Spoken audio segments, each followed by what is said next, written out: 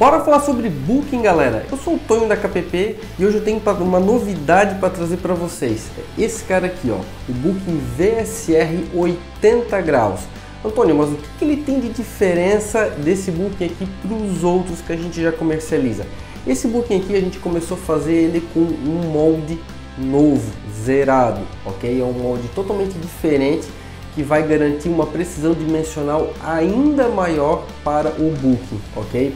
Nesse booking aqui de 80 graus a gente também está utilizando uma matéria-prima mais refinada. Ainda é borracha de silicone, porém é uma matéria-prima diferente, ok?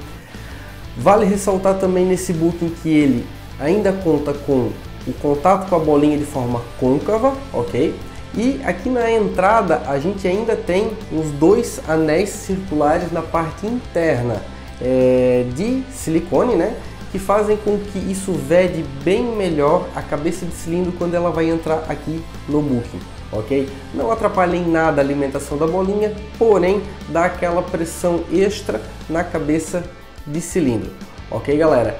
E também gostaria de salientar uma, um, quesito é importante que a gente começou a perceber de um tempinho para cá, o Booking VSR, o comprimento dele aqui ó, é 16 milímetros, galera. E existem alguns bookings por aí rodopiando pelo mercado com comprimento menor, com 15, com 15,5.